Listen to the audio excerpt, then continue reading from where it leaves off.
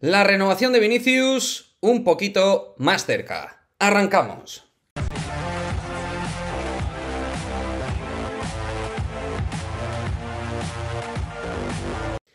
¿Qué pasa chicos? Muy buenas, bienvenidos a otro vídeo de Madridismo al Día TV. Vamos a hablar un poco de las renovaciones, ¿no?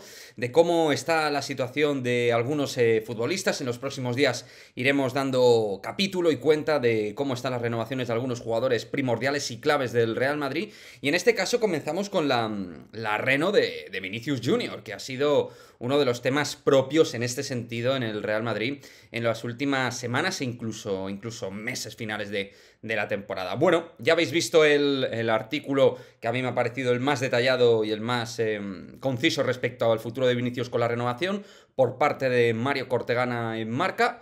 Eh, coincidiendo en que efectivamente el Real Madrid había hecho una propuesta hasta 2028 que se había desestimado por parte de él y de su entorno, considerándolo demasiado largo. Tener en cuenta que Vinicius ya tiene contrato hasta 2024, aquí la cuestión primordial era mejorarle la situación salarial, que era uno de los cuatro jugadores de la plantilla que menos cobraba, evidentemente estaba en una situación salarial con la cual aterrizó desde Brasil em, en España y lógicamente pues su salario ya eh, con respecto a su fútbol nada tiene que ver.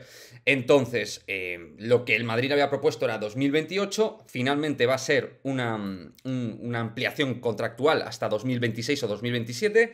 Eh, vamos a ver si es 26 o 27, pero seguro una de estas dos, uno de estos dos años tal y como describe Mario, y luego la subida salarial que va a ser muy importante, en torno a los 10 millones de euros, se está hablando. Es decir, que ya estaría en el, en el tope, ¿no? En el máximo prácticamente salarial. Obviamente el futbolista que ahora mismo más cobra es Eden Hazard, pero por ahí se encuentran varios futbolistas importantes, más o menos eh, en esas cuantías, como son Karim Benzema, Luka Modric o, o el propio David, David Álava. O sea que un salario acorde eh, desde mi punto de vista, a lo que es actualmente Vinicius Jr. en el Real Madrid, una de las grandes estrellas del equipo, jugador primordial y sobre todo, chicos, esto lo entendemos todos, tiene mucho que ver con respecto a los clubes estado y equipos que realmente van a ir con absolutamente todo para intentarse hacer con los servicios de Vini, por lo que hay que trabajar en intentar pues eh, adecuar la situación de Vinicius en todos los aspectos,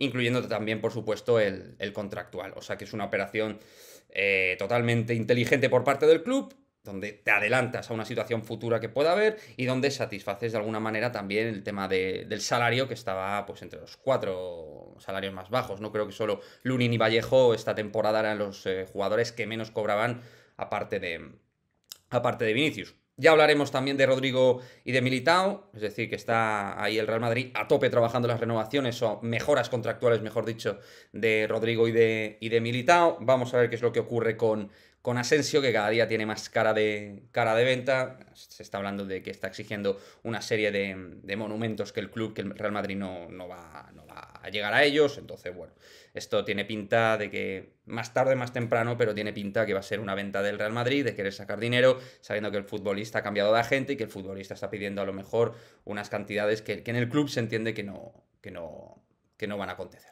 en cuanto a contrato se refiere. Así que nada, chicos, lo dicho, Vinicius Jr., que ya tiene su mejora contractual un poquito más cerca y en el momento que se haga oficial, pues nosotros aquí en el, en el canal lo, lo comentaremos. Así que, como siempre, dejadme vuestra opinión en el cajón de comentarios y nos vemos en el próximo vídeo. Chao, chao.